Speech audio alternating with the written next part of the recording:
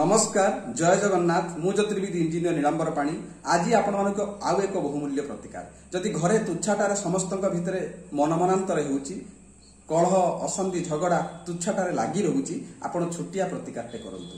ଏହି ପ୍ରତିକାର ଦ୍ୱାରା ବହୁ ଲୋକଙ୍କ ଘରେ ହସ ଖୁସି ସମୃଦ୍ଧି ସୁଖ ଭରି ଯାଇଛି କ'ଣ ସେ ପ୍ରତିକାର?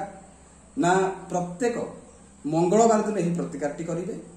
ପ୍ରତ୍ୟେକ ମଙ୍ଗଳବାର ଦିନ କିଛି ଖାଇବା ଗୁଡ଼ ନେବେ ଓ ସେଥିରେ କିଛି ଦହି ଗୋଳେଇବେ। ଦହି ଗୋଳାଇକି ଆପଣ ସହପରିବାର ଭୋଜନ କରିବାକୁ ବସିବେ ସମସ୍ତଙ୍କ ଭୋଜନ ଥାଳିରେ ଟିକେ ଟିକେ ସେ ଦହି ଆଉ ଗୁଡ଼କୁ ଆପଣ ଦେବେ। ଏହା ପାଞ୍ଚଟି ମଙ୍ଗଳବାର କରନ୍ତୁ ଆପଣ ଅନୁଭବ କରିବେ।